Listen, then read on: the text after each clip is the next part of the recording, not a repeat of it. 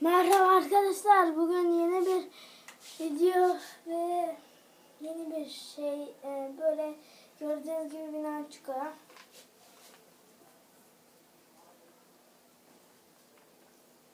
Sen bana olacak büyük yeri. Şöyle arkadaşlar.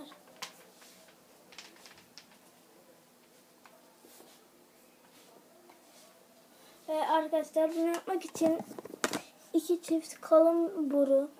İç tabii ki de boş olan burası. Yani e, böyle kalın bir ip.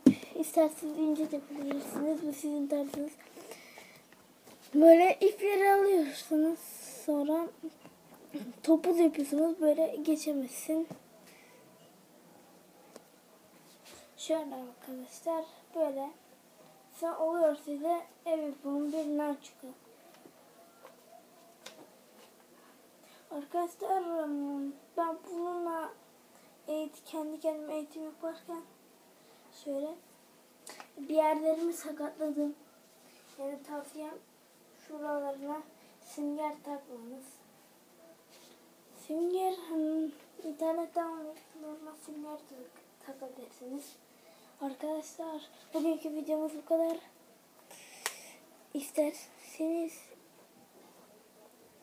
bu videoyu bitirmeden önce şu süsü de kaldırabilirsiniz. Bunu ben istemedim.